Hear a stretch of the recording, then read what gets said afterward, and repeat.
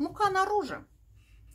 Раньше Господь готовил рождественские печенья, просеивая сквозь сито событий нашу жизнь, а теперь подлая наружа тоже приобрела сито с огромными ячейками, в которые в мгновение ока просыпаются целые пласты, целые небоскребы нашей жизни, еще вчера составлявшие ее незыблемые основы, а сегодня канувшие в бездни.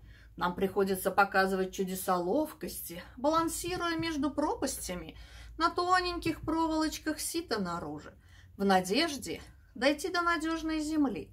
А наружу все трясет и трясет.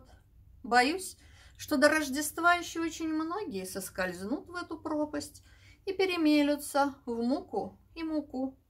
Но что планирует наружу приготовить из этой муки? Мука наружу.